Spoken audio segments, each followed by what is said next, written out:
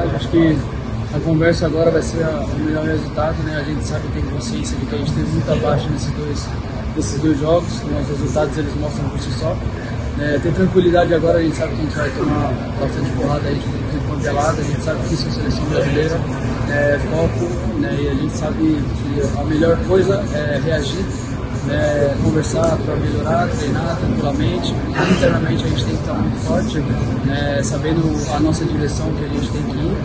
Né, e para os mais jovens é ter tranquilidade nesse momento, né, saber digerir, digerir as, as críticas né, do momento, as críticas pessoais também, seguir trabalhando, né, que esse é, esse é o melhor resultado. É triste, né, foram os primeiros exames ali manuais apenas. Né, então a gente vai esperar os, os resultados dos exames né, que ele vai efetuar no Brasil para ver né, realmente a gravidade da lesão. Né, mas uma lesão ele é sempre triste, eu acho que influencia muito né, para um jogador né, não está habilitado de fazer aquilo que ele gosta, de treinar, de estar jogando, de estar viajando para a seleção. Né, então é desejar o melhor para ele, né, estar orando, dando energia positiva para que ele possa estar voltando mais rápido. Qual